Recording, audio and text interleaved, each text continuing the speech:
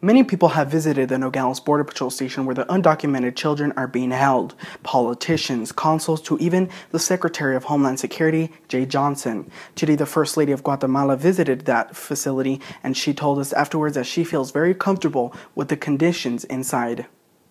The surge of undocumented minors crossing the border in Texas has grown in these past few weeks. That leaves Border Patrol facilities packed with more children.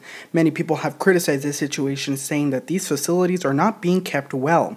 This was the opposite saying for the First Lady of Guatemala Wednesday afternoon. She says, I leave this facility calmer, knowing that these children are fine and are being treated very well. I could say that the pictures that were released a couple of weeks ago is not the case from what we saw today inside the facility. She adds on saying that they have medical care, clean clothes, and being fed daily with no limit. She conveys her gratitude to President Barack Obama on how fast the United States government took action towards what she calls a humanitarian crisis.